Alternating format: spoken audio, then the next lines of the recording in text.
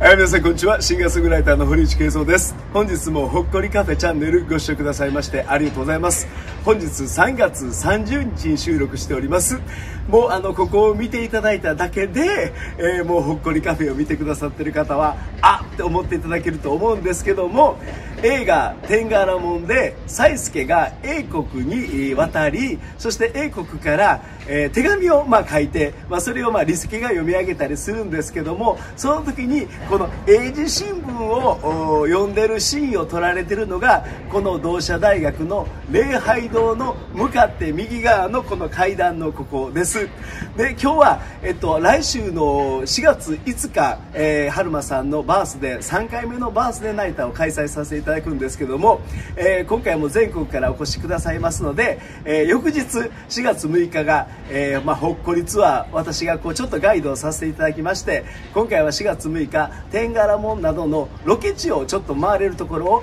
ご案内したいなと思って今日はこの同志社大学の礼拝堂を起点に何箇所かちょっと下見をさせていただきたいなと思って今日はほっこりカフェファミリーののこのこさんと春花さんに同行していただいて、えー、来週やっぱりこう二十数人でこう動くのでちょっとこのリーダー的にあの知っといていただけたら嬉しいなと思って一緒に今日は下見をさせていただいているところなんですが、えー、この私たちの間ではもう皆さんもよく来られてるこの天柄門のロケ地のこの同志社大学の、ね、礼拝堂なんですけどまだちょっとね堀さんどの辺りにあるんですかとかいう聞かれる方が多いんですけども、えーと、烏丸通りに面してこの同志社の今出川キャンパスがあるんですけども烏丸のまずあちらの方に西門がありまして西門から、えー、入ってもすぐのところがこの礼拝堂があります。どこどこさんがカメラでちょっと行って向こうの方に見えてるのが、えー、烏丸通りでして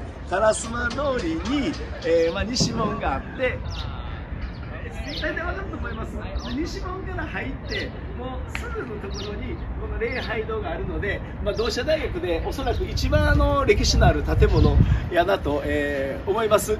で、えっと、確かね1886年にこの建っててでプロテスタントのレンガ造りの礼拝堂チャペルとしてはなんか一番日本で古いチャペルらしいです。で1886年っていうのが先ほどちょっと見て見たんですけど確か五代友厚が亡くなったのが1886 5年やったと思いますので、えー、それが合ってたら五代友厚が亡くなった翌年にこの同志社大学の礼拝堂ができてその礼拝堂で天柄門のあのすごく素敵なシーンを撮られたと思うと、まあ、これも何かすごくご縁を感じます。でまずここがあの手紙を書いて、えー、その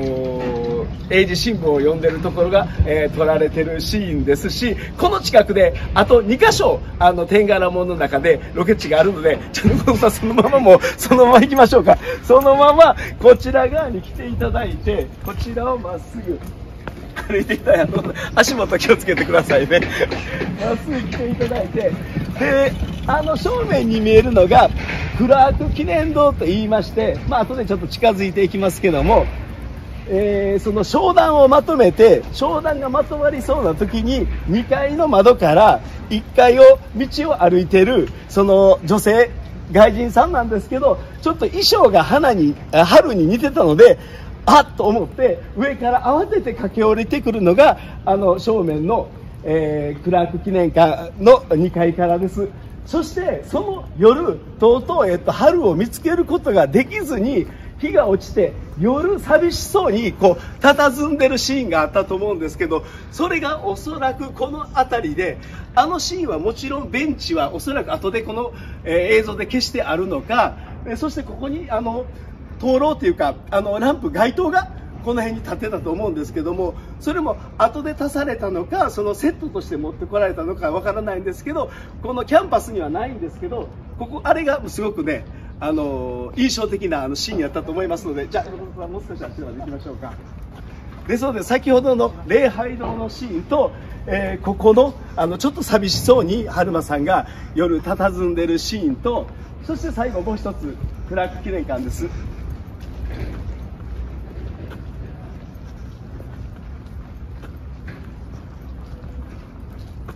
えー、今日はすごくいい天気で 桜も綺麗に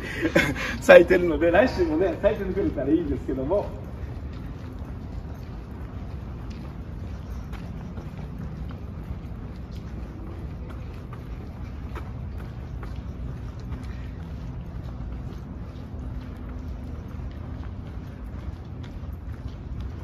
でこのクラーク記念館の、まあ、2階で商談をまとめてあの窓からあの春をこう春らしき女性を見つけてこの階段を駆け下りてきてっていうシーンです。でこの中はねもちろんあの入ることはできへんのですけどもあの礼拝堂の前の階段のところと今の通りのところとこのクラーク記念館の前ではあの記念撮影撮れると思いますので、えー、またこの同志社大学の、まあ、天柄門の、まあ、すごくこの英国に渡った時のすごく、まあ、あの印象的なシーン3カ所がここで撮られてますのでぜひまたね皆さん京都に来られることがございましたら、えー、この同志社大学での、えー、ロケ地また見ていただけたらと、えー、思っております。今日は同志社大学での天柄門でのロケ地すぐ近くにあるんですけども3カ所のシーンをロケされました礼拝堂、えー、そして、えー、夜寂しくちょっと佇んでたところ、えー、そしてクラーク記念館を紹介させていただきます、えー、来週の4月5日、えー、今年も春の特別上映ボリューム2ということで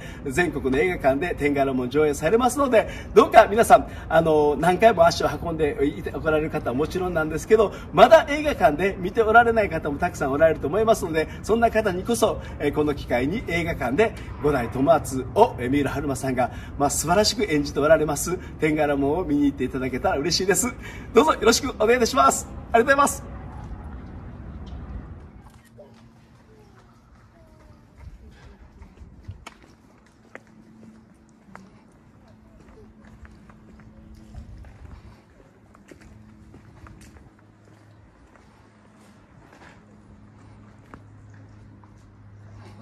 ちょっとやったはんねん4月15までやった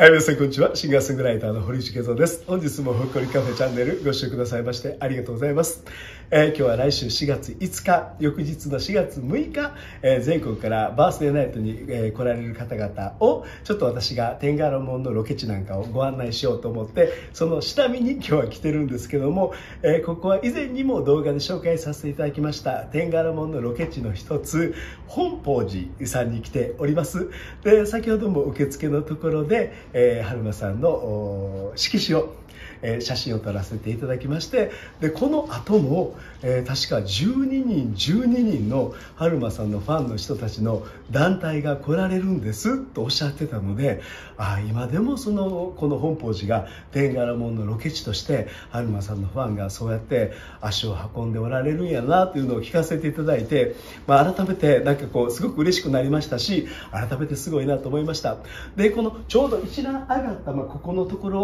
を覚えておられる方おられるかだと思うんですけど天柄門ではおそらく2つのシーンでここがロケされてて最初は島津成明公がおられてでこちらの下がったところに大久保静雄と西郷隆盛がいててでなかなか、えー、幕府から、えー、何にもその、えー、軍艦を交わしてくれるとかそういうことがないなとでこんなことでは軍艦いつなるかわからんなって言ったら一層がじゃあちょっとあのあの者に頼んでみるかとおっしゃられてあの者とはということで「えー、ですか?」っていうようなあの辺りがあったと思うんですけどもでその後ちょっとこの島津成明の子榎木隆明さんがそちらの方に歩かれて、えー、すごく素敵なセリフ「大きく育てよサイスケ」という、えー、今日はなんかまた久しぶりに一人天柄申しておりますけども、あのシーンがあって、で、またその次のシーンでは今度は島津久光公にも代が変わってるんですけども、えー、その才助が長崎から呼び戻されて、急ぎ上海に渡り、軍艦を買い求めて参れっていうシーンがありましたので、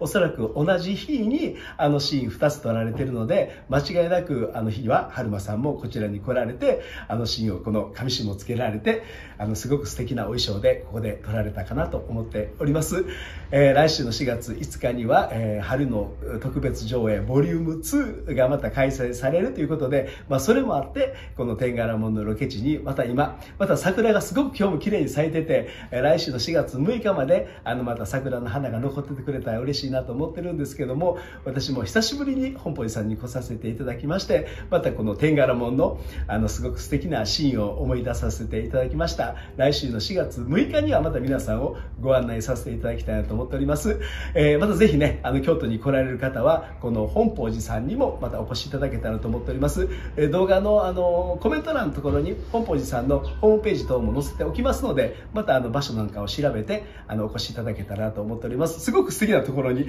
ありますし、えー、今日はのこのこさん、春花さんと一緒に下見させていただいてるんですけども、えー、お茶をされてる方なんかにとっては、こちらはこう、まあ、裏千家のなんか聖地地のような場所にありますので、ぜひまた、あの、天柄門のロケ地の一つ、すごく素敵なシーンを撮られました、この本宝寺さんにもお越しいただけたらと思っております。ありがとうございます。生まれてきてよかった君と出会えたから